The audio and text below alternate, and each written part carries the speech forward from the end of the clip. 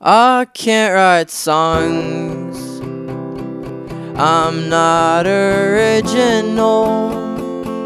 I can't sing words I've never heard before. I'm such a bore. Cause my mind won't explore places no one has ever been.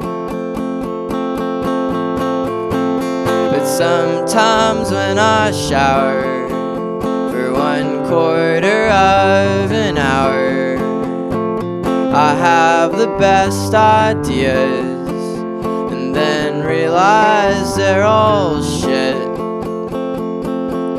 If I get drunk, dreams. The closest I have been to thinking of new things.